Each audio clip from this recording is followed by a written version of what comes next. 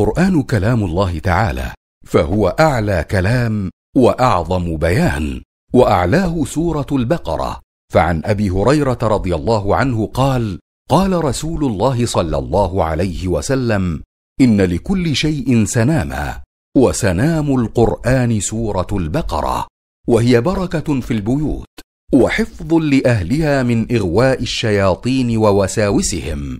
ففي الحديث لا تجعلوا بيوتكم مقابر. إن الشيطان ينفر من البيت الذي تقرأ فيه سورة البقرة وهي تحصين من السحر وعلاج ورقية.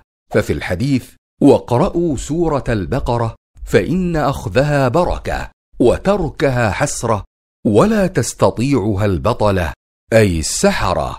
وقد أودع الله تعالى في خواتيمها نورا وحفظا ووقاية.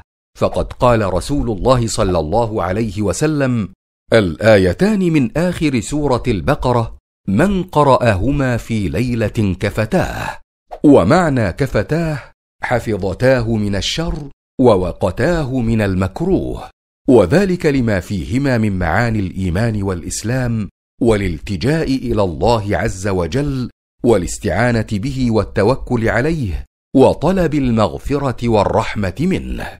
وفي سورة البقرة آية هي سيدة آي القرآن وأعظمها وهي آية الكرسي.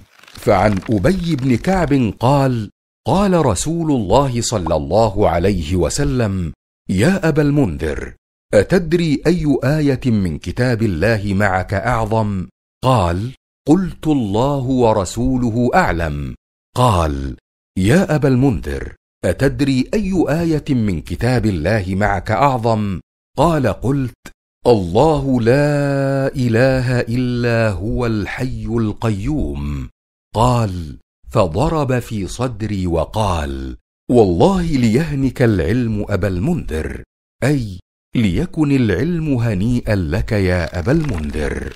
وقد سمى النبي صلى الله عليه وسلم البقرة وآل عمران بالزهراوين. وذلك لنورهما وهدايتهما وعظيم أجرهما. وصح في الحديث أنهما يشفعان يوم القيامة لمن قرأهما. قال النبي صلى الله عليه وسلم اقرأوا القرآن فإنه يأتي يوم القيامة شفيعا لأصحابه. اقرأوا الزهراوين البقرة وسورة آل عمران فإنهما تأتيان يوم القيامة كأنهما غمامتان. أو كأنهما غيايتان أو كأنهما فرقان من طير صواف تحاجان عن أصحابهما.